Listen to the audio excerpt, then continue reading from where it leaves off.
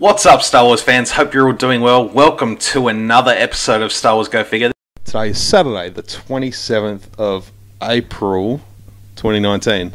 Uh, joined with my buddy Lachy, he's come up again. We're going to have a bit of a breakdown of Star Wars Celebration and everything that's come out of it. So, how you doing? Pretty good, man. Um, excited to have you back in Australia and Good to be back. good to be back. Um, yeah, excited to talk all things celebration, your trip to Chicago and LA and everything. it was a whirlwind, and yeah, definitely exhausted still from it. It's still You hasn't settled, and then we come home to Avengers, and it just hasn't stopped. You've, Um, you've come home to tears, a barge, and more tears. Absolutely. and uh, the wife might be dropping in at some point too. She's due home from work any minute, so she might drop in and have a bit of a chat with us as well. Um, so where should we start? Celebration. Um, you know, Chicago was the coldest place I've ever been to in my life, and I live in a little town called Mount Barker in Adelaide here in South Australia. And it's a cold little crap town, and yeah, Chicago is just.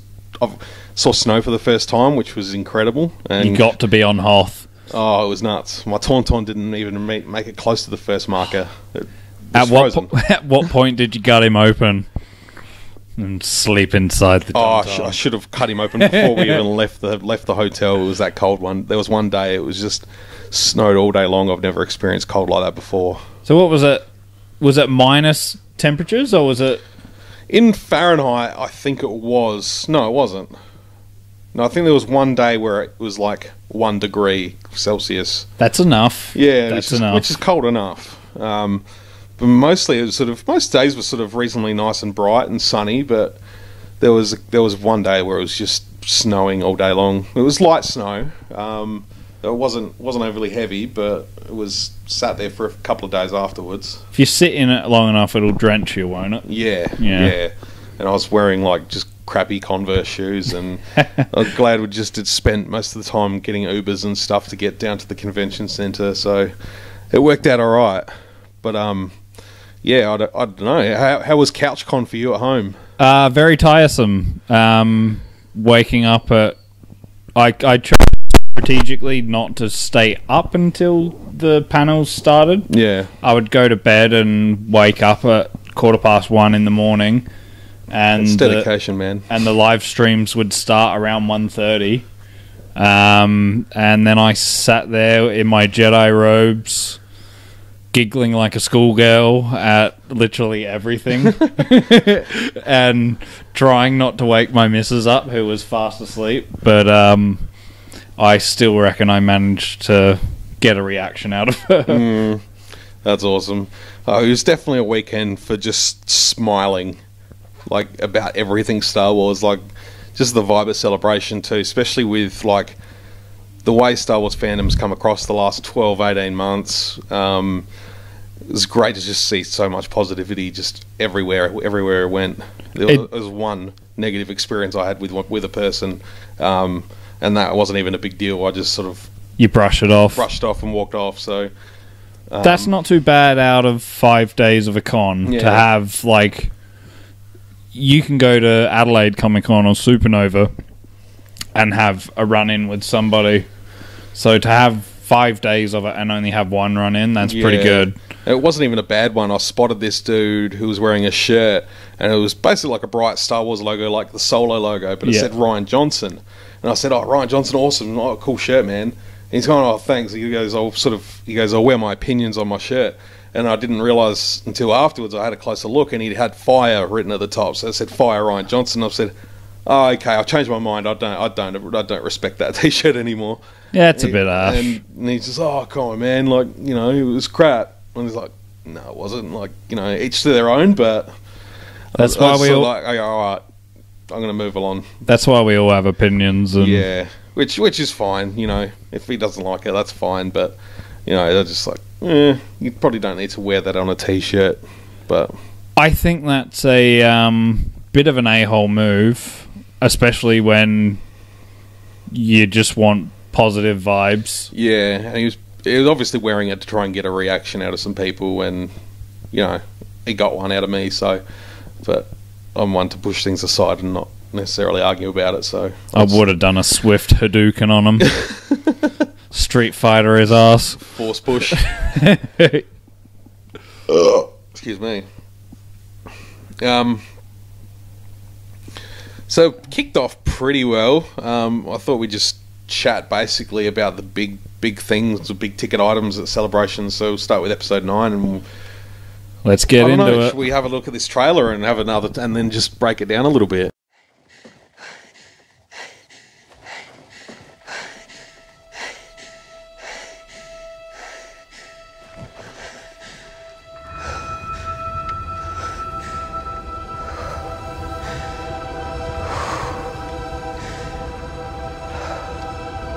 Passed on all we know. A thousand generations live in you now.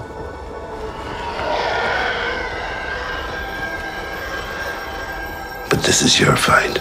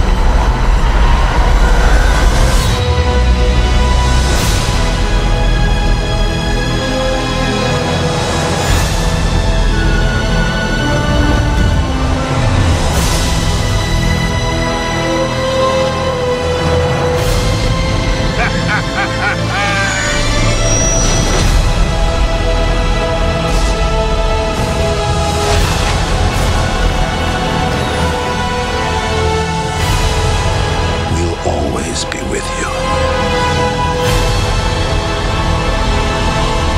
No one's ever really gone.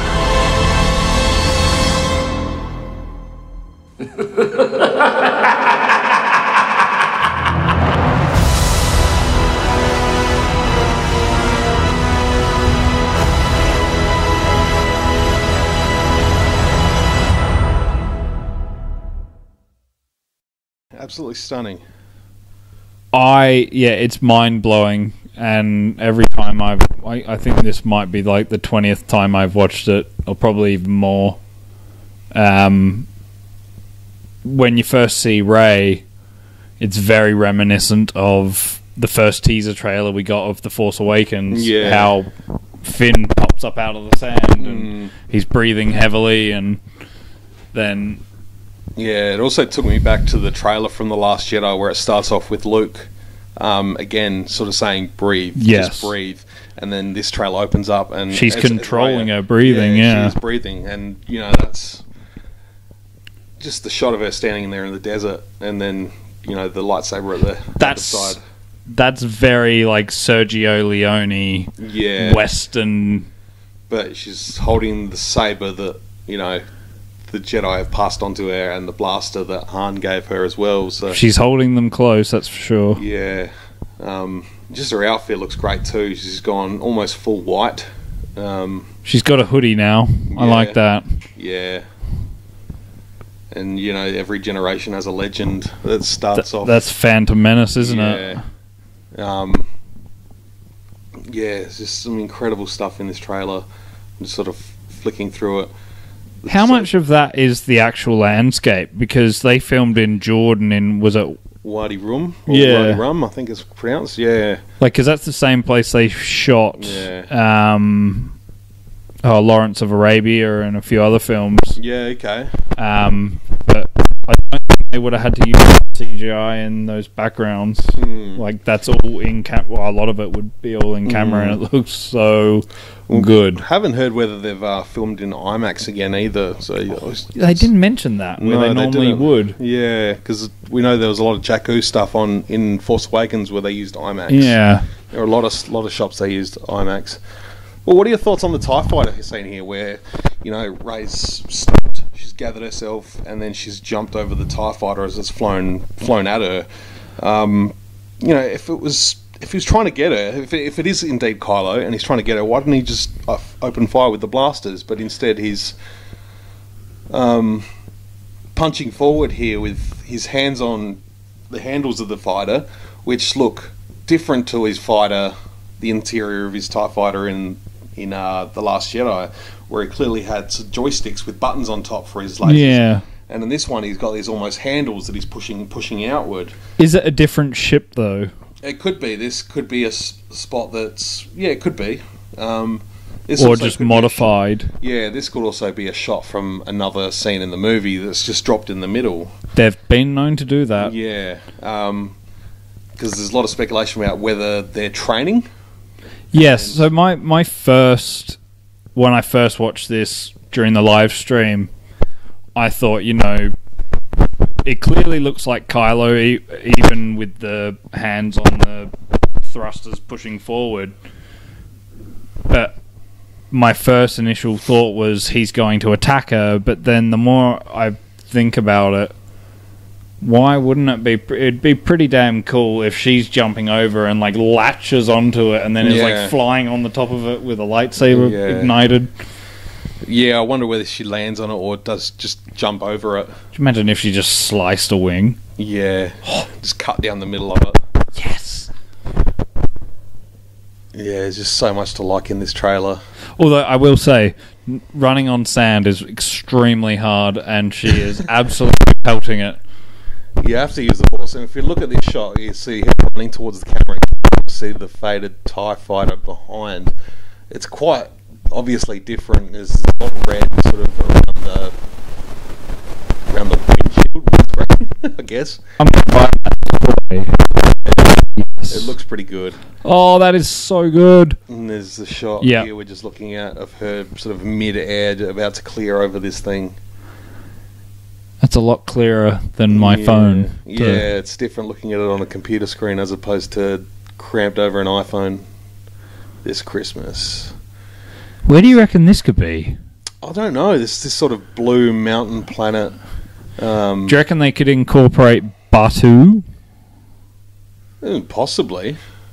I mean, it's got that rocky exterior. My immediate thoughts was was simply because of the blue was Eadu from Rogue One, but I don't think it is. Um, simply because of the blue and the. Sit, will sit.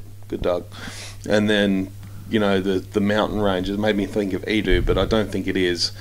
But this ship we see fly through um, down to a sort See, of city. that- Now looking at it closely.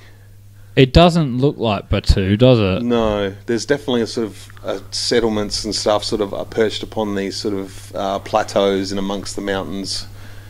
Um, But that that ship is the ship, yeah, Force Awakens Yeah. from Rey's Rey's vision of the ship that was leaving her as a child. Do you reckon Um, this could be a continuation of the flashback? It could be, yeah. Because that would be pretty cool. Mm. Because I don't really want the retconning of Rey's parents to be. I want them to still be nobodies, but I still want a little bit else.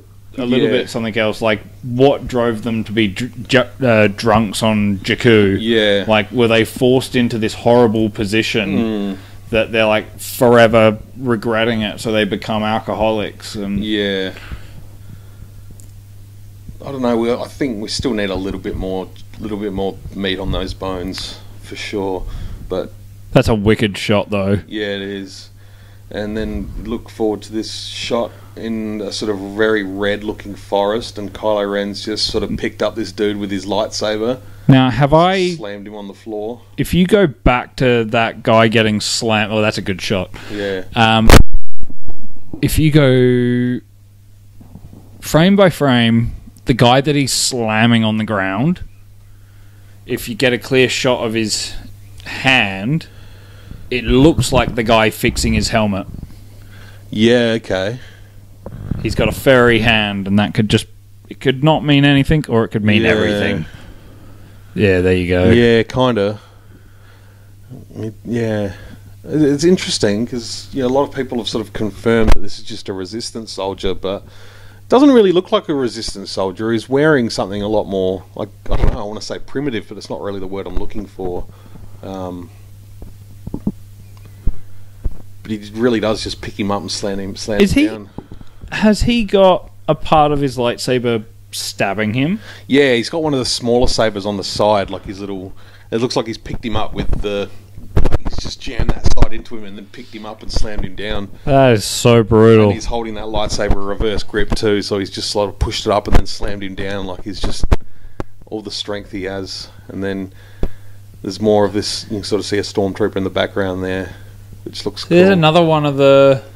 Yeah, just for those listening along at home, we're sort of just clicking or clicking through this. Do you reckon there's Trailer. Zuvios? Look at that helmet. Could be a Is that a Zuvio alien? Uh, It would be great for JJ to throw Zuvio in somewhere so that his action figure now becomes canon. He like, I won't feel so bad about owning an action figure that doesn't exist in the movie. I Um, never bought him. I'm sorry. So now, But we, like, if you get to the hand, he's got a furry hand. yeah, you're right. I haven't yet. So we're looking at the shot of Kylo Ren's helmet being welded back together. And they're wearing some kind of jewelry on the right hand as well, so that could be an Yeah. indication of something. So there's furry hands, but not to the extent of I like don't- Chewbacca. No, it's just like frilly. Yeah, it's like collar, like popping out the end of the sleeve, sort of thing. Um, but I, I like the look of Kylo's helmet all put together with this sort of red welding. It looks really cool. As the shot sort of fades into. You can see he's still got half of it. I should actually keep the microphone to my face, but he's got the other part of the helmet he's yet to Yeah, attach. That's yeah. so cool. So someone's gone and picked up all these broken pieces at some point. Could you imagine just someone on hmm. stuck? well, Where where does he do it? On It was on the in the elevator on Snoke's ship. yeah. Could you imagine someone just with a dustpan and broom just Yeah. sweeping it up, going, "I think he might need that someday." Yeah, pick out all the chunks of glass and you just put that in a container because he, le- he left it smashed on the floor for someone to clean up and he's just like prepare my ship He's just such a moody man. He's just like, I'll let somebody clean up my shizen. clean up his Sith Very good. so now we um now we just sort of merged into a shot of Finn and Poe standing up on a rock and Finn's holding Rey's staff Better turn into a lightsaber. I've been waiting three movies for a double-edged lightsaber. There's got to have. It's got to have some significance to stay around for three movies. yeah That sort of goes into a shot of BB-8 and the new little droid D-O. what do you think of D-O? Uh, I'm. I'm in. I'm digging Yeah, it. I it looks want- cool I love. Someone pointed out that he looks like the the part in um, Beetlejuice when the guy gets his head stretched back. oh I can't remember it But I'll have to show you a photo later. It looks like a lamp on a wheel or a hairdryer. a Yeah. hairdryer on a unicycle. Looks like a cone, Yeah. Sideways cone, and they're like dipping their heads, saying "What up?" Someone had actually built one in the droid builders room at Celebration. There was a whole room full of like fan made droids, and someone had already put together a D-O. Oh, I've got photos I'd like to show you later on. Uh, next shot, we go to the interior, the cockpit of the Millennium Falcon flying through Uh-huh. space, manned by none other than Chewbacca and Lando Calrissian. Lando Calrissian. Works every time. Do you reckon he's got Colt 45s there with him? I hope so. I mean, they would be called something else. Bolt But- 45s. Master um, Bolt 45s. Yes, there he is. Bespin 45s. He's got his cape. He's got his yellow shirt with the black collar. I love how they're matching. Um, they're connecting Solo, Yeah. the Star Wars story, with this. Yeah, I know a lot of people weren't into that. They didn't like the idea of Lando coming back wearing a yellow shirt. I'm like, it's Lando. Like, he can wear whatever colour he wants. And it just so happens that when, when they found him at Bespin, they landed on Bespin, he's just like, I'll wear a blue shirt today and my blue cape. Of course, you know, Lando doesn't leave Han with all his capes. Like, Surely, when he when Han, when Han won the Falcon, Lando's gone, all right, the ship's yours, but you're not taking my capes. But he flew off first, and then it's like after he won it, he's probably like, "Let me on, let me on. You can't have everything on Yeah. here. I'm You've already got. I'm, take, I'm taking my caves and I'm taking my wet bar. yes, yes. Uh, Surely Han was like, I don't need a wet bar. I don't need a bunch of capes. You can take them, Lando. That's fine. Han's more rugged. Yeah. He was a scoundrel, not a smooth operator. And Han obviously had just a bunch of white shirts and black vests just That's- stashed in there, like because Lando had something to wear at the end of Empire Strikes Back. I still find that funny. yeah. Let's go raid his closet for his clothes. He's frozen in carbonite. He won't mind. You got a terrible fashion sense, Han. Han. Got Lando calls him Han. So I'm, I just can't wait to see how Lando gets brought into the story. Oh, um, Need it. Andy looks great too He because, like, when he was at the 40th anniversary back in um, was that Orlando. Orlando, yeah. he didn't look too great. So they and I know he was. There's footage of him boxing and getting into shape, and it's incredible for his age. Give me that skiff. Yeah, so we're back on this Jordan planet. Um, I don't know if it's Jakku. It doesn't look like Jakku. Jakku's mostly sand. It doesn't look like Tatooine. It's I don't know. It sort of reminds me of I think Jedha, yeah, but half of Jedha is wiped out. yeah. They've shown what Jedha looks like in the comics, and that's you know half of it's exposed, like half of it's been pulled apart. The other half of the planet looks normal, so it could be on the far side of the planet, but It'd be nice again to it looks link like- everything yeah, up It's because looking it, like there's still civilizations living on this planet. Um, well, yeah, those behind the scene photos they showed. There's a whole bunch of aliens dancing around, yeah, and it looks like a Bollywood video. yeah, So very interesting. So it looks like there's a bit of a chase. There's all these. They look like uh, moisture evaporators, but I don't think they are. They just look like towers or something. There's a couple of jet troopers. This happens really quickly. yeah. It, I I really didn't notice it for quite Mm. some time. We've got Poe and Finn on this sort of skiff with 3PO. 3PO is holding on for dear life. And So that A wing, Yeah, so here we have an A Wing. Now, this is very blink and you'll miss it stuff. So that's definitely an A Wing. And that's a that's an Imperial Star Destroyer behind it, or it looks like an Imperial Star Destroyer. Um, yeah. That's frame by frame. Go through and yeah, like this is. It's. I'm trying to go as frame by frame as I can, and it's not picking up. so. I wonder if this is a flashback. Yeah, I don't know. We've seen A Wings. We've seen A wings, but we haven't because that had the Yeah. that looks like an old school. Like it's even got the if you go there that Yeah, that that red bit down the bottom it's almost like a um. from the Clone War era. Yeah, the like the the Star Destroyers we see at the start of Revenge of the Sith. Yeah, So that's directly where whether mine. the, yeah whether the Resistance has managed to get their hands on some of these old Clone Wars era ships. would be and so cool, Man. You know, they started building up a fleet of old, you know, old put together Star Destroyers, and we know that they're they're no, they're they're still a threat. Those ships, oh yeah, like they're no weakling. Like the Empire just evolved into what they had. Um, next shot, we've got Chewie's medal. yeah, hopefully. I think it'll be Hans. I think Han. I Yeah, think- I don't know. I hope Leia for some reason to Chewie. Um, like to see if if we're not going to get any more Chewie in films, I'd I'd like to see him go back to his family. and Kashyyyk. Give me Yeah. Kashyyyk one more time. yeah, um, I still want to see Chewie like for years to come. Oh yeah, I think, Like I don't want to I don't want to be without my favorite Wookiee, and I don't think. Uh, is it Joonas? Joonas. Yeah. Joonas. I don't think he's ready to give it up either. No, no things for, for. Um, yeah, this was a bit emotional. This shot of Leia holding Rey arm in arm. So obviously they've done something with this shot because that costume wasn't even around when they filmed The Force Awakens. So they're doing some trickery here because they said they're using all original footage Mm. from deleted scenes and things Um, like that. So And we've seen shot of you know Rey and Leia hugging from The Yeah. Force Awakens. So whether there's some like, ex- different takes, uh, different angles used, Um, they've had to just alter what Rey's wearing.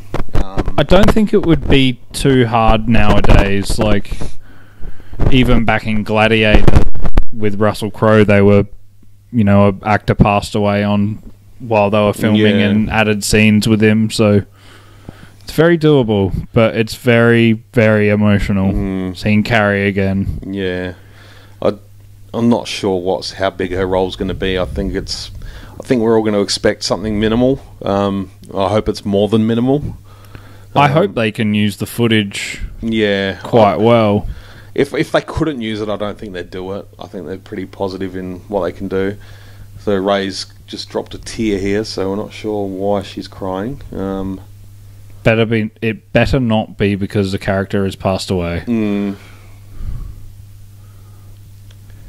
So this shot is straight out of Seven Samurai. Have you seen Seven Samurai? a long time ago, but the reason I got into Akira Kurosawa films was because of Star Wars. Yeah, like me too. hearing about Hidden Fortress and Yeah. the role it played Yeah, with Jimbo um, and this is this is Yojimbo's awesome. Yeah, but this is a shot straight out of Seven Samurai where you sort of see the Seven Samurai sort of standing on a hillside like this, and here we've got seven characters standing there. We've got Chewie in the back, uh, BB-8, D-O, 3PO, and then Rey, Fo, uh, Foe, it's the it's the two Fo, of them. Pameron, um, Poe and Finn standing in the foreground a little bit here too.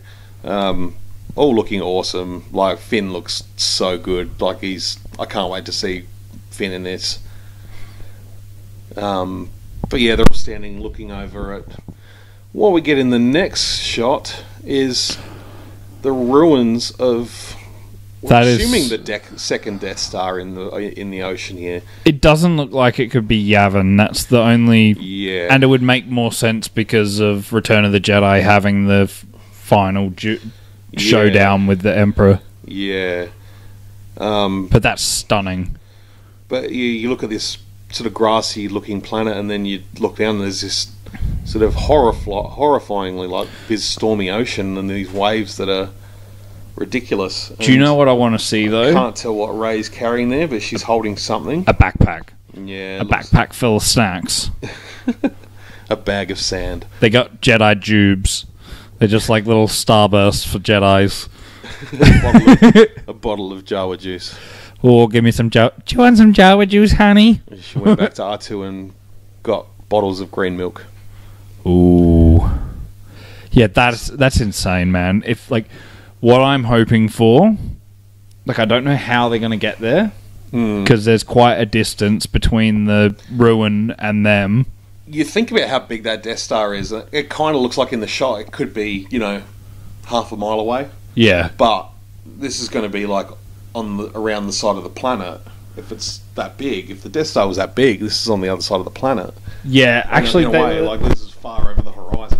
that's a very good way of looking at it because the thing is so ginormous. Yeah, um, It was a small moon. yeah. And That's- you've obviously seen all the links that people are putting towards this and the concept art from the Force Awakens. Yes, I have. That was I. I, I went back to my own book and was like, "Oh, this is good." So there's this whole idea of having to go find something underwater in the ruins of the Death Star. I really hope they do because, like, what I was trying to say before is, I hope she gets her scavenger on, hmm. and they all go on like an Easter egg hunt inside the Death Star hmm. and find something like a holocron or some- something important that they can all just. yeah, I I'm interested to see what happens here. Whether they're going to have to go into it, into the ruins here, and find whatever they need to go go find. They're obviously there for a reason. This looks to be like them coming out and finding exactly what they came for. Oh yeah. Um, So th- this is big. This is like this is me losing my Sith when I saw it because this is just tying, you know, the final film in the Skywalker saga. This is tying up everything. It's incredible. yeah, and it's you know apologies to everyone that didn't want to didn't want another Death Star in in Episode Nine. Well, It's t- here you go. You've got your, you've got another Death Star. I mean, it's only bad if it's still fully operational. that thing's still fully operational.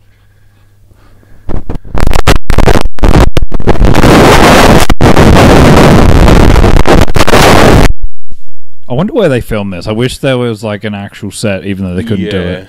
Let's build a life-size fallen Death. Star. Do you reckon they surf out there? I hope so. and then there's like 1960s rock Some Beach Boys. lobster. Scarif cruising. Scarifornia.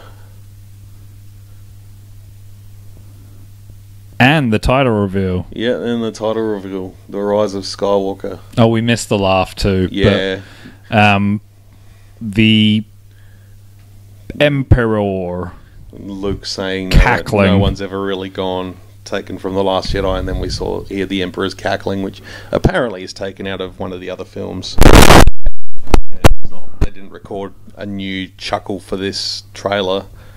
It was taken out of. Um, it's hard to say. I need to listen to it again and. Try. What do you reckon? I mean, it's, Uh, it's got to be Jedi or Sith. I was thinking Revenge of the Sith when he's throwing the pods down Yeah. at you know when he's fighting Yoda. That could could be Mm. it because he laughs a lot in that. He's very sinister. Yeah, he does a little bit in Jedi too, where you know he's walking down the steps and he's going good. good." Yeah, oh, it's so powerful. No. It's so powerful. And uh, yeah, Rise of Skywalker. What what did you think as this flashed up on screen?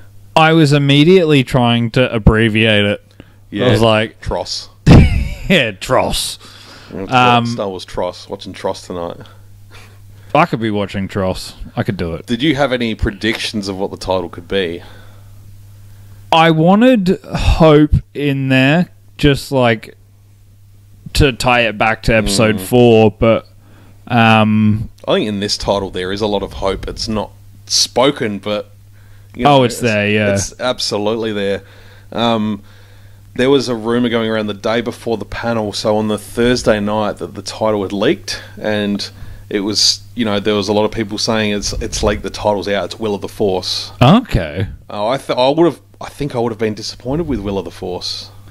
I like the fact that Skywalker is in the title. Mm. It's really sort of it is bringing it home. Hello, wife. Hello. Don't mind us, unless you want to come and talk. okay. Where were we? Uh, Yeah, I think I would have been disappointed if it was like um, if it was Will of the Force. Um, don't know. It's just I doesn't, f- have, doesn't have the same ring to it. I feel like if us fans can pick the title before it's announced, it's not a good title. Yeah, Not saying that it's a bad title, but they've obviously like they got to put a lot of thought into it, and Mm. I'm pretty happy with the title. yeah, very happy. Um, I, I I predicted Rise was going to be in it. I thought Nice. it might have been Rise of Resist, Rise of the Resistance. I think I sort of I predicted Rise based on you know Re- Revenge, Return, then Rise. So that was sort of I sort of predicted that a little while ago. I don't know if I spoke about it on the podcast at any stage, but I'm not sure, but that that that's pretty cool. I think we might have spoken about it through through messages. But The three R's. putting Skywalker in there, I would never would have guessed that at all. Now, a lot of people are saying the Skywalker could be a new term for like Jedi, or Force user, yeah. and I don't like that idea.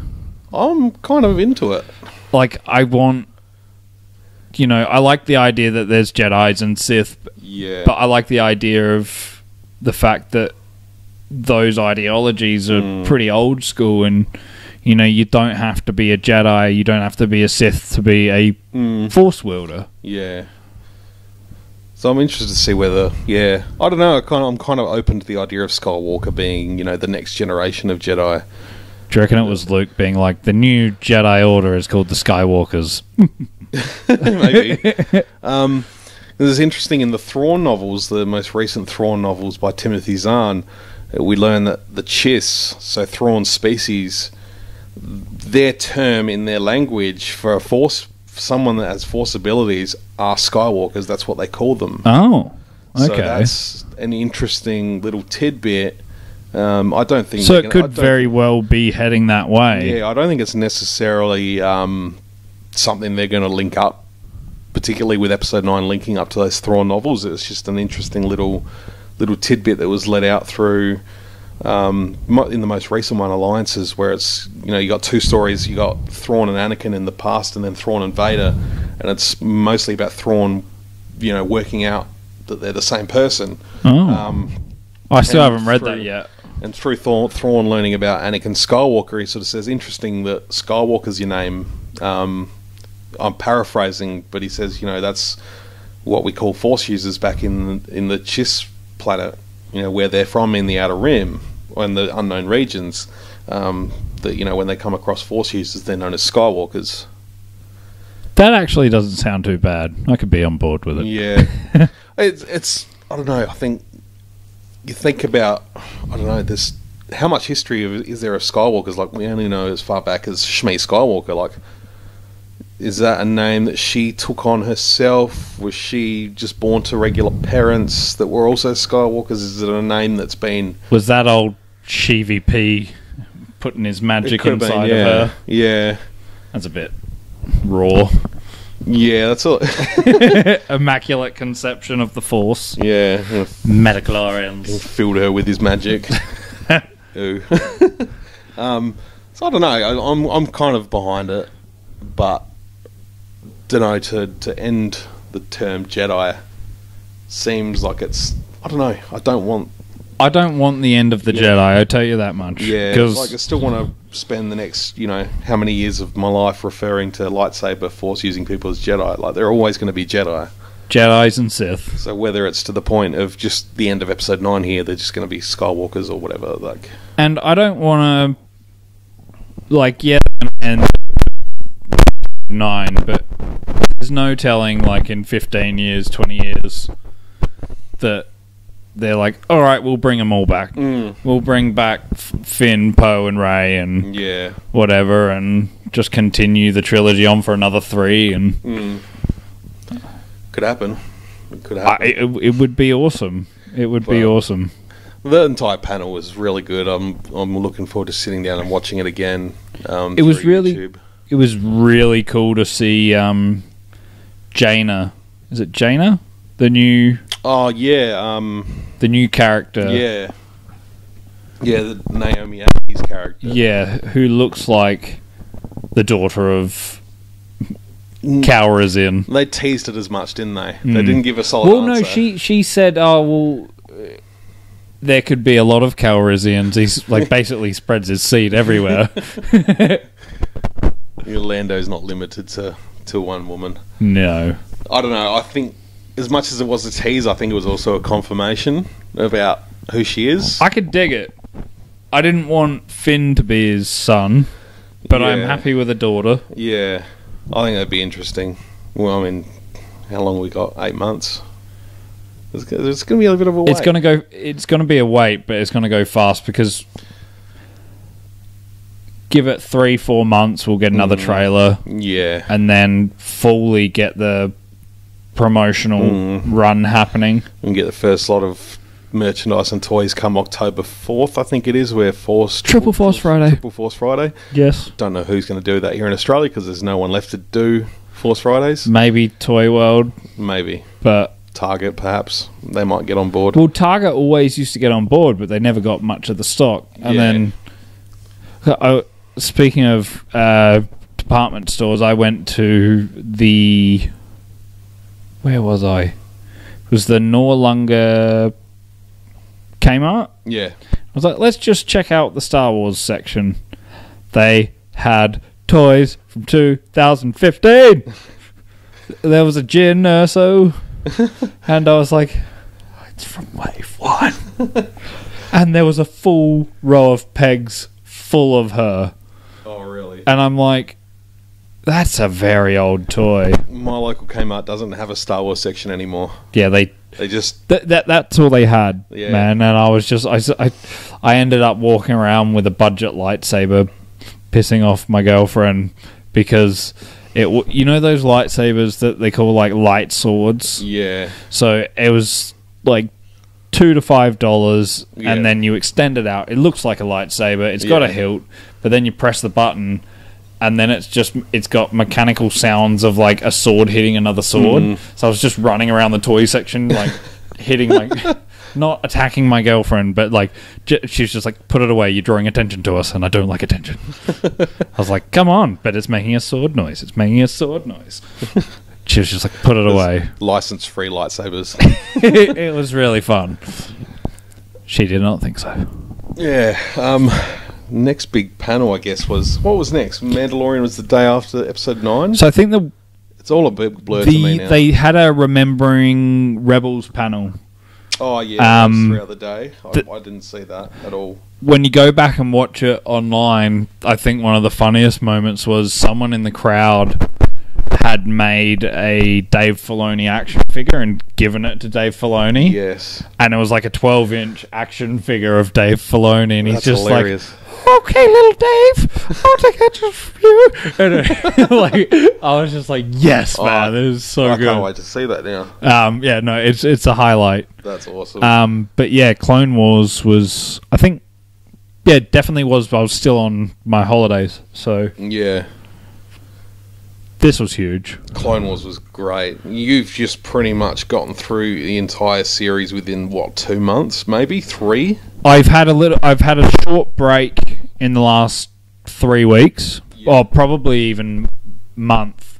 But I'm back into it. I've got one disc left of um, the Lost Files, Yeah, Lost Missions. Yeah, Um, so I've just seen Ahsoka leave the Jedi Order. yeah, um, that damn near broke my heart. yeah. I didn't expect it to Mm. pack as big of a punch as it did. Um, and I wanted to get up to date so I could watch the new season and fully just immerse myself in Plus for probably thirty dollars because I know it's worth it.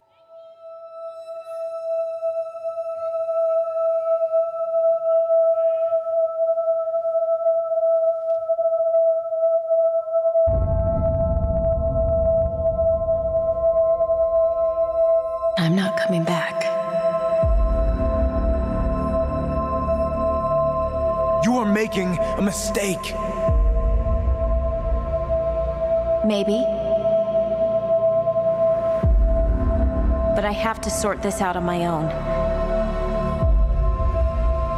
Without the council. And without you.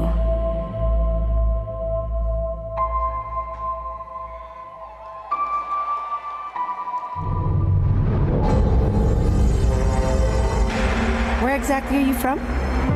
I used to live in the upper levels of Coruscant. You're probably better off down here. With the Jedi running around, starting wars. I've watched so many of my brothers fall during this war. Fives, Echo, Heavy. Master Yoda, your thoughts on how to win the war? No longer certain that one ever does win a war. I am. You'll never see any Jedi around here. It's not safe down here. Things could have gotten messy for you. That's why I've got my ship. What squad are we taking in? Experimental Unit Clone Force 99. The cavalry has arrived!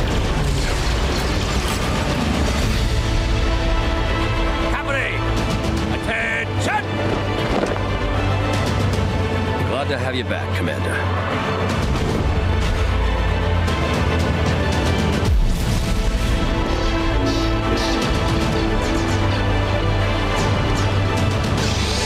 The good is new.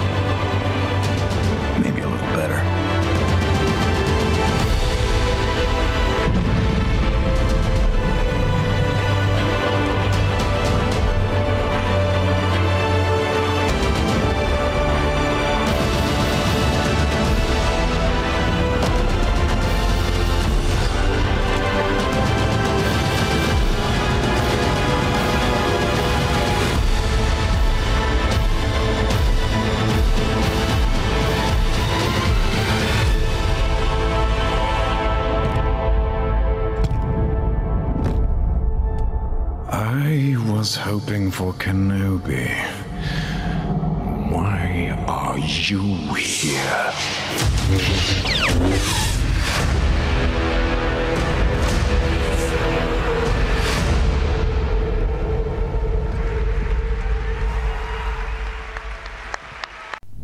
Yeah, that's gonna be so good. Um, yeah, like you're saying, it's it's nuts how like Ahsoka's evolved over the years. 'cause I kind of remember the start of it. I didn't sort of jump into Clone Wars until probably season two was airing, so it was probably 2009 or 10. Um, even I was uncertain back then. Like, why does Anakin have an apprentice? And I think that was pretty much the pretty much the feeling all round at I the think time. I think the gist of it was like, where is she? Like Mm. they've made a character, so they've obviously got to get rid of her at some point. Yeah. I I watched the first two seasons um, as it aired, or as well as it could air, um, and then I lost track of it and sort of forgot about it. Really, Mm. um, but It's it's it's kind of incredible. She's Ahsoka. I thought over the years is specifically probably from this the arc you're talking about where she leaves the Jedi Order. Like since since then, she's become one of my favorite characters. Like in Star Wars in general. well, especially when she's in Rebels, Yeah. like when she returns in Rebels, I'm, I was Mm. just like, oh, And there's still so much future for this character. With ma- massively. like she's almost Um, yeah, she's almost become like a Gandalf the White sort of character. Where She's a you know, beast. serves a higher purpose, and there's more. For, there's more for her to do. Um, I like her look on being a Force user as well, where she doesn't identify as a Jedi, yeah, which is really cool. she's a Skywalker. She's a Skywalker. Um, yeah, I don't know. It's this. Se- there's going to be so much in this season. It's only twelve episodes, but you know, I think from what we understand, we're getting the Bad Batch arc, which we've seen before as sort of animatics. They is that released- with bounty hunters? No, it's with the Clone Squad of. Um, but that was in the trailer, wasn't yeah, it? Yeah, yeah, yeah. And there's they did show a clip from that episode, but they sort of released those four episodes after the Clone Wars was initially cancelled by Disney, um, just in their sort of rough animatic form with with the dialogue and stuff in, in intact. Into the Bad Batch. Yeah, so that's going to be four episodes, and then it looks like the the other eight are all going to be. Um, there's going to be a four episode arc of Ahsoka going into the underworld and dealing with that, and then it's going to be the Siege of Mandalore. I'm excited for that. I think Yeah. everything that I've liked out of the um, Clone Wars so far is the Mandalorian arcs. Mm. They are just mind blowing. Yeah, and just seeing in the trailer there, it's uh, Bo Katan that's um, there in the hood, sort of Okay, cool. trying to find Ahsoka. So I think she's going to try and get Ahsoka to come and help with, with the problems with Maul on Mandalore and trying to get Mandalore back. And um, I think it was a celebration in Orlando or maybe one of the San Diego Comic Cons. They did the uh, they did a Clone Wars panel, and Dave sort of gave a rough outline for what he was going to do with the Siege of Mandalore, um, and that was that had basically left Ashley Eckstein in tears um, at that panel. Um, he sort of explained to her, you know, that Anakin sort of because he's about to go off and save the Chancellor, that it leaves Ahsoka with some of the 501st, uh, with Rex, to deal with the Mandalore, the siege of Mandalore, and that you know he yeah, he introduces her to her clone squad, and they've all painted their helmets to reminisce, Yeah. to to sort of align themselves with what Ahsoka has. Which you see in the trailer, and it's That's a pretty epic moment. they showed a clip in. I'm pretty sure they showed a clip of that in the panel, Yeah, and then she starts getting teary eyed, Yeah. and crying and stuff, and like I think just the respect they all have for Ahsoka Mm.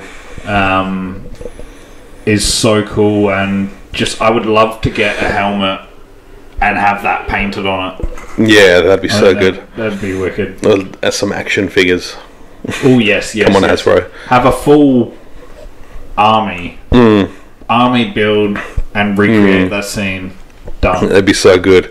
Um, but yeah, Clone Wars is going to be pretty damn epic when that when that hits. Um, I've been a big Clone Wars fan for a long time, and you know, in terms of the action figures, they're some of the best action figures that Hasbro's done. Um, that's one of my favourite lines to collect was the Clone Wars, and it, as a series, it really kept Star Wars alive for a period where you know a bit dormant, wasn't it? yeah, after you know, after Revenge of the Sith, that was kind of it, and then the Clone Wars sort of come come along three years later in 08 and you know sort of kept things going until you know the Disney buyout and all that, and then you know Star Wars found a whole new a whole new life. So.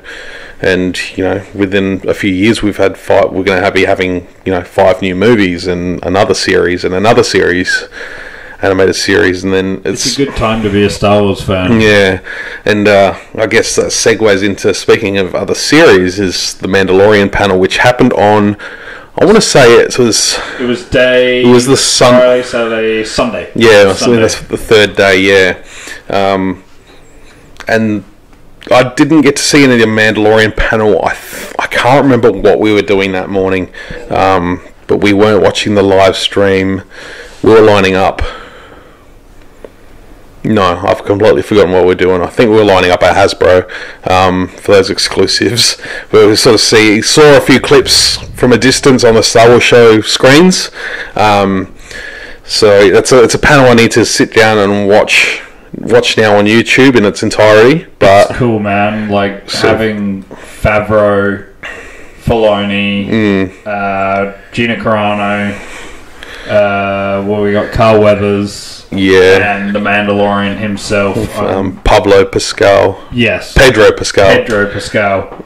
Um, you can just tell from their reactions that this is going to be something Mm. awesome. Yeah, They are so excited, and like someone like Carl Weathers, who's a pretty seasoned actor, he's like, I'm in. I'm in. Like this is Mm. he's so seen cool. coming out on stage. I saw a clip of him coming out on stage, and he just looked in his element. Like Loves he was it. thrilled to be a part of Star Wars.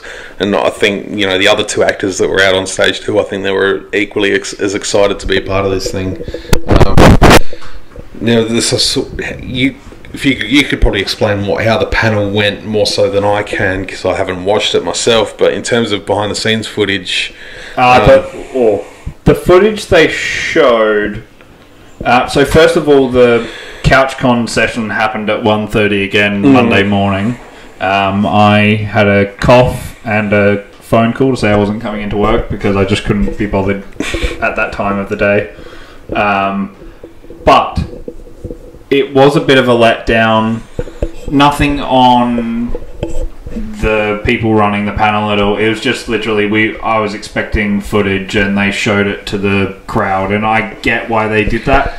Yeah. People like yourself travelled all the way over across the other side of the world, so something shouldn't. Not everything should be streamed. Something Mm. should be held sacred to people paying that money and going to the convention Yeah. themselves. Um, but the first thing they showed was um, well, they turned the they turned the panel off to the crowd at home, and then they showed a behind the scenes reel of them just basically on set. Mm.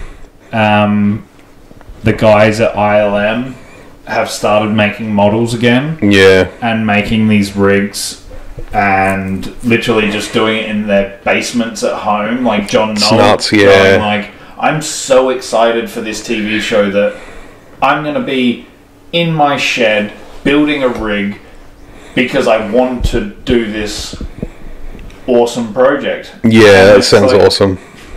and then they showed later in a trailer that didn't go to air, they're using that same footage of the live action model going past. And you're Yeah, oh, that's stunning. that's insane. Um, and then it cuts back to the guys talking, and something I really took away from it was um, Filoni and Favreau's friendship, Mm. where it might you thought it might have just been a work relationship of, but they've known each other for the past 10, Yeah. years, and they had this funny thing of um, back in 2008, Favreau was up at Skywalker Ranch doing the mixing on Iron Man, Yeah. and he brought in Filoni to be the first test subject of Oh wow. what, you know, check this out. Do you reckon it's all right? Yeah. Filoni was like, "Oh, actually, do you want to come check out a TV show I'm working on with George? It's the Clone Wars." So Oh, they wow. were both test subjects for these Each other's projects back then. Yeah, so that was a really cool story. That's fantastic. um, so check it out when you get a chance. Yeah, oh, that, that might be my viewing for tonight. Actually, the Mandalorian panel. yeah, it's, it's Um, great. I love Favreau. I love Filoni. Um, They had no moderator. Yeah. it was them two just uh, like geeking out. And Yeah. like, we'll bring some crowd out, and then like, we'll bring the cast out, mm, and then they cut away. But they ended up showing a si- like a sizzle reel of a scene with Carl Weathers and the Mandalorian, and he's basically the Mandalorian is accepting a job. yeah, Um, and then you go into the underground, which looks like Tatooine, yeah. Like Jawas. I and- think the the bar there is just blatantly Mos Eisley Cantina. Oh, yeah. It has to be. I can't Yeah. think there's Jawas around. You know, there's there's a shot there of the Mandalorian riding a Dewback.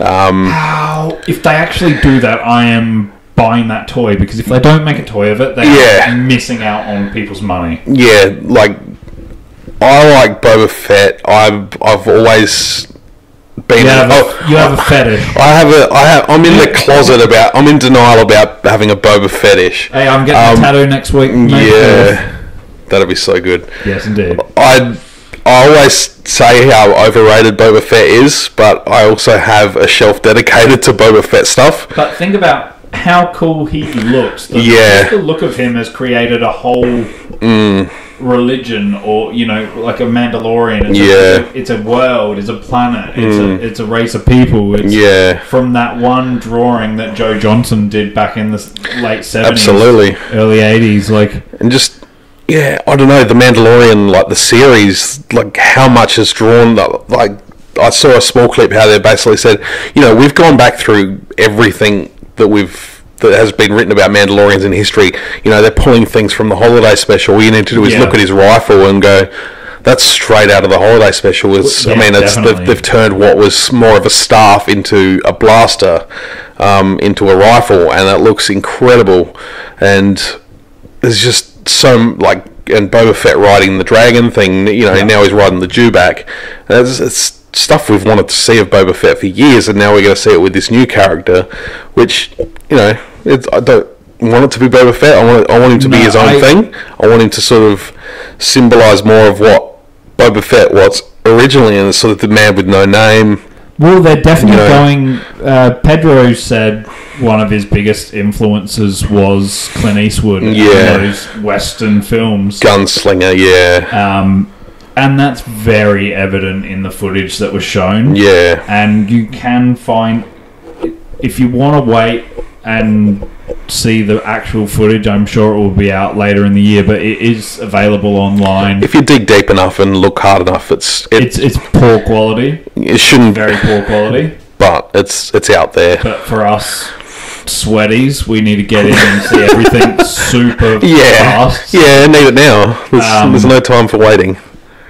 Because I saw the footage and I was Mm. like, this is truly mind-boggling stuff. Yeah. The Kowalkian, I don't think I'm saying that correctly, but the The monkey lizard. the monkey lizard, like Salacious Crumb on a spit, and then it's just sad because you see this other one in a cage, like almost crying, looking at a, his, His friend, his friend or could be his brother or mother or, or wife. father, Yeah, just getting roasted, literally. just getting cooked. Yeah, and then things like uh, the IG assassin droid, which uh, they've sort of said it's not IG88, it's IG11. Yes, I have and he's that. and seeing him for a split second in action, spinning around and blasting stuff. It's like, Oh my god! what? That is the first time you're actually seeing an IG88 or like a IG model like fully going berserk around, killing everything. Yeah, Um, in live action because we did Yeah. get a couple of those in the Clone Wars, yes, I should say live action. and they were cool in the Clone Wars too. Did you see those Jawas in that footage? Yeah. they, got like red eyes. Yeah. like,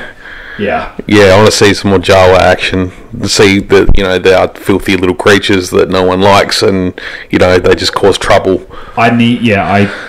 I think this show, like, while I've got high expectations and excitement for episode nine, I'm leaning more towards this at the moment. I think it's yeah, it's, going to be time period that I mm. love. Yeah, and it's going to be world building. It's going to expand the universe a lot more. And if it's eight to ten episodes, you know, that's that's eight hours of Star Wars that we're going to be able to consume over and over and over and over again. And They have said as well. I I don't know where I read it, so it's probably not. Don't take this as confirmation, but it will be. It won't be a binge yeah, streaming show. They're going to do it like weekly weekly episode as opposed to a big dump. is, yeah, which is dope, man. Yeah. Because if I just binged that eight hours, Mm. I'd be a bit upset that there's. I have, you know, because when you watch any Mm. show and binge it, and it's the first weekend of, you're Yeah. like, oh well, now I got to wait a whole year. Yeah, there's a part of me that's like, I'd love to sit and binge the whole lot, but at the same time, Stretch it part out. of the excitement about being a Star Wars fan and is waiting for these movies to come out is, Yeah. you know, doing what we're doing right now is speculating about what the future and being excited and waiting and you know you get the new trailers you get toys coming out and it's all part of that and you know especially with show TV shows these days like Game of Thrones and such it's it's something you watch an episode and then you can watch it again during the week weekly, like- yeah like Especially with, uh, what's happening at the moment with Mm. Game of Thrones. I haven't actually watched it, but there's always like every Monday there is weekly memes, there is weekly discussions. Yeah. everybody loves it, and I want that to be Yeah. Mandalorian yeah atmosphere. I want to be able to sit, you know, watch it when it airs, watch it when it drops, and then you know, watch it the next day, and then a couple of days throughout the week, watch it again, I and think we should do a review show. Yeah, yeah. Like I mean, I know we tried to do it with Resistance, but sort of Just- fell back on it. Mm. But I think that's because doable. I I think wasn't this so is much into the show. yeah, But this will be doable. I'll be watching, taking notes, and Mm. watch it multiple times. And yeah, I'm. I would love Yeah. to go back and review them once we've done. Yeah, yeah, that was yeah, sort of. I'd sort of had that in mind myself as well. Um, yeah, it's I don't know. It's just you know, week to week is it feels better to me because you know you can really indulge in these episodes week to week. Like I said, watch it three or four times. You really know what's happened in that episode. You can pick out all the Easter eggs. This show's gonna be littered with Easter eggs. Well, yeah, they've literally said they've got 42 years worth of stuff in there. yeah, and, yeah, and you know we're going to pick these things apart a week at a time, and then you know come into the next week's episode, come into episode two. We're hundred percent in what knowing what we've seen in the first episode, and then you you know things are going to jump out a bit easier in the second episode, and you got to do it over and over again, And- week to week to week. considering how Filoni is with the Clone Wars and Rebels, like remember that Clone Wars episode where Ahsoka's trapped on a plaza- planet and um, she's being hunted by all the, The Trandoshans, yeah. Trandoshans, and you go into that room and it's like a trophy room of Mm. all the things they've hunted. Yeah. and that was just like a treasure trove of like everything that's dope about Star Wars was Mm. in that shot. There was, there was a Tauntaun and a. I want to say there was a Gungan head. I can't remember, Yeah, but it was. I think it's fresh in my mind because I watched it a couple of weeks ago. but, Yeah. um, imagine that with Filoni and Favreau in Mm. live action. Yeah. Just the fact that they can literally have, you know, actual Mm. objects hidden. Yeah. Um, Uh, You just know that you know Favreau is such a big fan of Star Wars, and Filoni himself is a fan, and Filoni is the student of George Lucas. Like, Yeah. Filoni is George Lucas for the next generation of Star Wars. I hope. You know, I hope he gets to the point where he's already that. Like he's not Lucas's. Uh, what's the best way to say it? I consider him Lucas now, yeah, but he's nowhere near Lucas's stature because Lucas Mm. is Lucas. Yeah. but Filoni, give it time. Filoni's a god. Yeah, I was so thrilled to be able to meet him. Like I'm just. I hate you. I was, I was, I was, I was out to dinner with a bunch of friends. Um, the guys from First Order Transmissions and a couple other guys. Um, we're all out to dinner. Did you have deep dish pizza? We had deep dish pizza. We're at. Uh, Yay, nay. Yay. I'm gonna go with yay. I want to try and make some because I can't go to Chicago. So we're, we're at a restaurant called Giordano's. There's a few of them throughout Chicago, and uh, we're having dinner dinner there one night, and just sitting around, just finishing our meals. We just finished eating, um, or we hadn't eat, eaten yet. I can't remember. Anyway, yeah, we were just about to pay our bills, and some one of the guys has jumped up and said, you know, there's Dave Filoni. Like we were sitting alongside the window, and this guy just casually walks past wearing a cap. You know, he's got a big jacket on. They've taken off. I've gone. I've, I've, I've, sat, I've sat there going, oh, you know, he's, he's, he's, gonna, he's not going to he's not to get him. And then we, I reckon I, I sat there for about another half a minute to a minute, and the wife's gone, they're not coming back. Maybe they got, maybe they caught up with him. So I've just gone, crap. I jumped out of my seat. Um, I've run outside. I've, I've, I've strode down the street as quickly as I can. I can see them all bunched together in front of a little store, like a little takeaway store. And they're all just chatting with him, and I've walked up, and they've intro- they've just said, "Oh, this is buddy, my this is our buddy Jesse," you know, and it was almost like you know he didn't realise that we'd chased him down the street. it was just so happened that, that you know they made it seem cool that you know they've gone, Dave, Dave, is that, is that you? And he's turned around. And we literally just sat, stood there and had a chat for 10, 5 or 10 minutes, got photos with him. Dude, that's and, dope.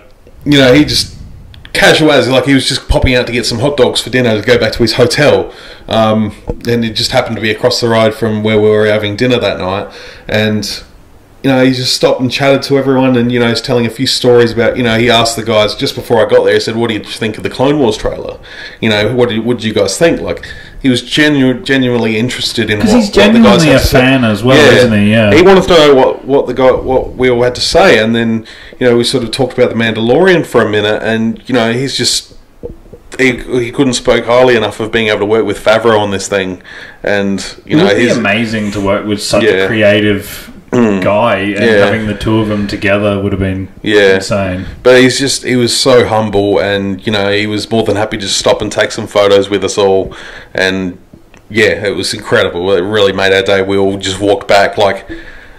So he walked into the shop. He walked into the store where he was getting his dinner, and we You all sort of walked like off. two kilometers back to your dinner. I, sta- I started walking off and just I turned around and just looked at the guys and I'm just like high fives guys. And we just got high fives on the street and we just come back and we're just gushing we're just fanboying so hard.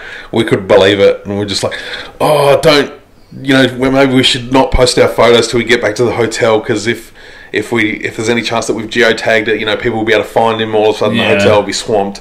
Um, so we'll give it a couple of hours we'll get back to the hotel room. And yeah got back that night and I just posted I was just like yes! Uh, yeah, I- made my day.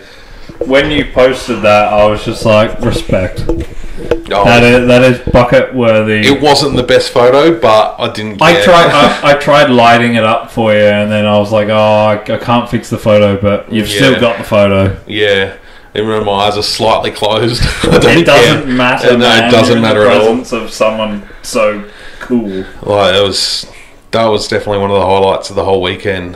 That was another thing with the panel as well. Filoni, they need for the Mandalorian.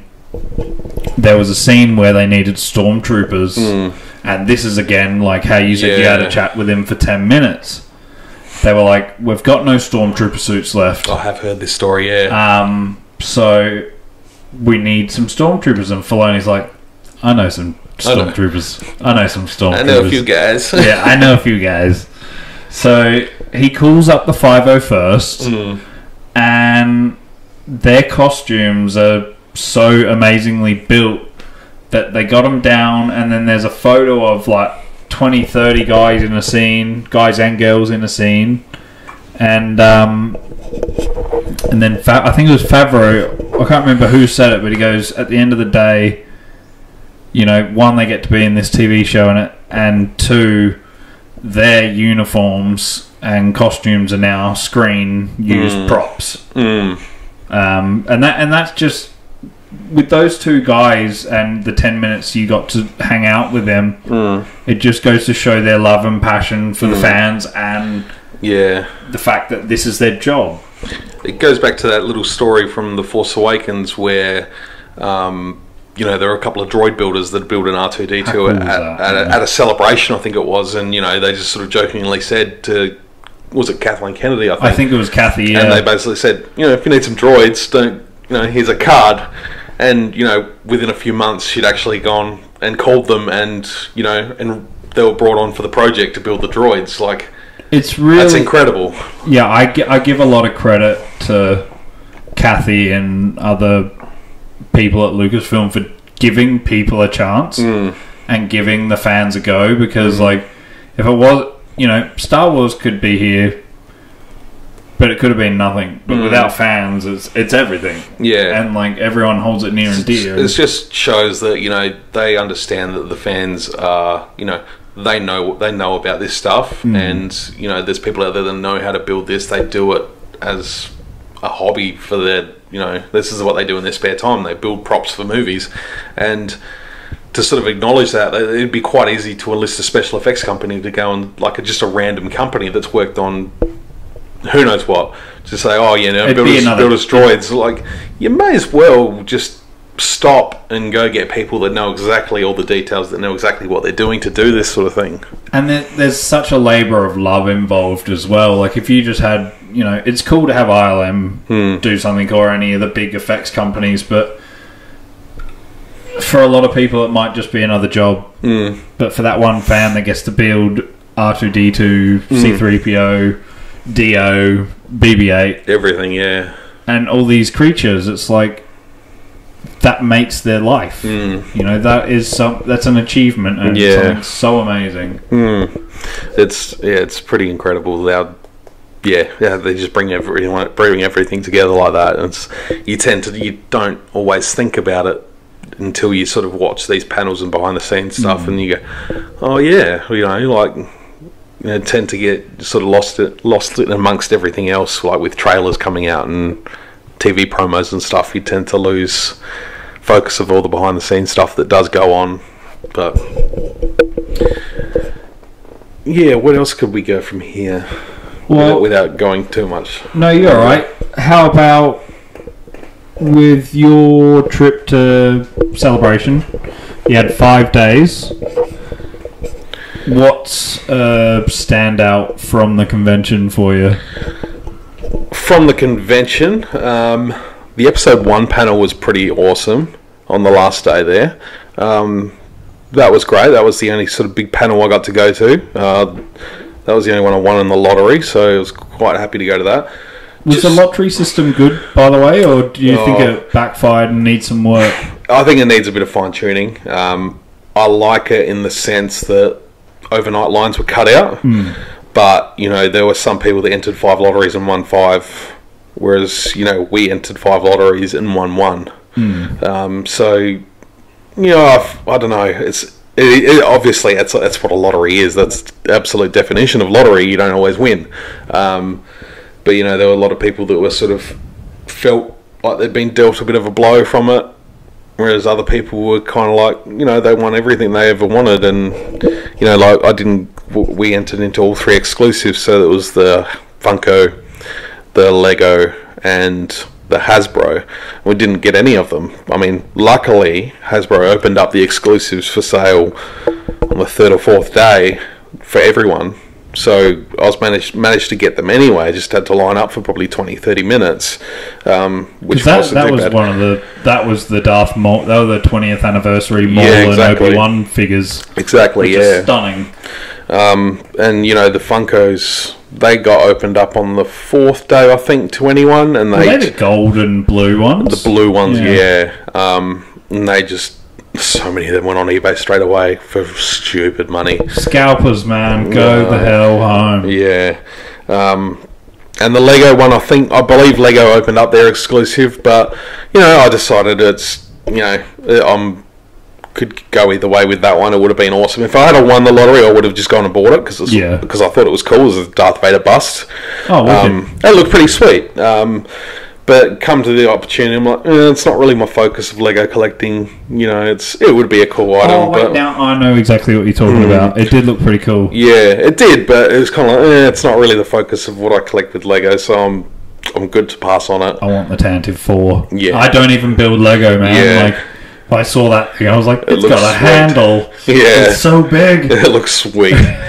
um, yeah, it was it was pretty. I just overall it was just a good vibe. I got to meet a lot of um, a lot of friends that I've met online over the last couple of years uh, since Orlando. Um, some podcast heroes that I've I've, I've met I haven't met before. Um, got to meet a couple of guys from the Wampus Led podcast. Uh, don't listen to them as much as I used to, but it was good to meet them nonetheless. The Um, RFR boys. yeah, met them again. I unfortunately didn't get to go to any of their shows, but it, they sold out really quickly as well. But it was good. I managed to find them on the show floor and stopped and had a chat with them and got photos and stuff for about ten minutes. Um, and then just as I was walking out on the last day, run into the guys Jason and Gabe from Blast Points, and I've started listening to their stuff too. I, I'm digging it. yeah, they're, they're, they're just hilarious, dorky dudes that I just, yeah, I, I, I feel like I get along with them really well. Had the opportunity to spend more time talking to them. I reckon I get along with them really well. Um, but yeah, it was great to finally meet them. Like I kept my eyes open for them all weekend. I spotted them once while I was in a line. I didn't want to jump out of the line. Thought, oh, you know, I'll spot them at some point. point, and yeah, just lucky to on the last day. Um, I did spot them in Orlando, but I hadn't listened to them heaps by then, and I was just too nervous to go up and introduce myself. And I thought, "You idiot! I'm not doing that again." Like, no, I'm just gonna. If I spot someone I recognise from online, I'm just gonna go and talk to them. And I made an effort to do that this time. But overall, it was just a positive experience all throughout. So your time in LA, uh, you went to the Disney parks. Yeah. Was there anything you could see of Galaxy's Edge? No, we couldn't. All boarded up. Yeah, there's, you could see a couple of spires in the distance, but there was no way you could could spot it. We we managed to get there was a couple of little um, pieces of merch in one of the Star Wars stores. Um, there's a Star Wars store. It's what am what are it called? Um, blanking on what it's called. But there was a patch, like a Galaxy's Edge patch, which I got. There was a couple of Nice. there was a T-shirt and a cap. Um, I just got the patches because I thought, you know, I'll get something else when it's actually open. So the patches were pretty cool for my jacket. So um, yeah, didn't get to see a lot else of Galaxy's Edge. We were talking to one of the Disney cast members while we were eating breakfast one morning, and she was sort of telling us, you know, she's visited the she's visited Galaxy's Edge, and she said it's going to be incredible. Like, she's told I'm us a few little tidbits about, you know, how you can get in as soon as you can if you get in if you reserve a hotel, uh, a Disney Disney hotel, you can get a reservation to get in that park sooner Oh, rather than later. So, um, Because they're doing pre-bookings online very soon yeah. for a reservation. Mm. So it's going to be pretty packed, but I think we're just going to hold out until we head back over to Anaheim next year. I think that could be a risky move. As like you got celebration, you got all those people, and Yeah. imagine Yeah. the whole of celebration just shifting over to Mm. Galaxy's Edge. Yeah. I mean, I'm gonna, me personally, I'm gonna wait a bit, um, maybe a year or so. Yeah. Um, wait for the heat to die down, and then I'm going to be pushing children out the way, grandpas out the way, women out the way, and I'm going to get on that Millennium Falcon and I'm going to cause some havoc. Not just the men, but the women and the children too. I need to ride the Millennium Falcon. Let me on now. yeah, I can't wait, man. The fact that you can go be in Star Wars Yeah. is just the best thing ever. Mm. So uh, I don't know. I guess to wrap this up, there's so much more we could talk about. We're gonna We can to, literally talk for hours. We're gonna have to get together again and talk about some of the you know the toy reveals and Yes, indeed. stuff with Hasbro. There's and there's so much more. We're, we're just gonna have to piece together a bit of a plan for another episode very very shortly and get yeah, even if we and- do a Skype call during the week or yeah, like get- a we'll find a way to get together and talk some more more about Indeed. celebration because it's just yeah we could talk for hours. Um, we- we've tried to bring five days down to forty minutes. Yeah, and it's gone nearly two hours anyway. Um, so uh, you know, and obviously next celebration's been revealed to be Anaheim. What do you What 2020. do you think? You gonna you gonna think about it? Yeah, I, I really want to go, man. Um, it it's all coming down to building this house and Mm. Yeah. Getting a mortgage and being an adult for once, Mm. um, while still buying toys and all the good stuff. Um, so if if we can, if my girlfriend and I can save enough money in a separate fund to go, then we're all in. Yeah. Um, but we're just going to have to take it day by day and see how we go. Yeah. But if not 2020, I hope 2021, 22, 23, mm. 24, and keep going. Mm. It's 20 years old. They're not going to stop now. Yeah. I'm pretty excited to be in Anaheim. Like it was just one less flight we need to go on next time. Yeah. like 16 hours on a plane is long enough just to get into the United States. To take another flight after that's ridiculous. But so we won't have to next time. Yeah, you get over your jet lag mm. pretty quickly. So that just pretty much wraps things up, I think, for this episode. We- Like I said, we could talk for a lot longer. Um.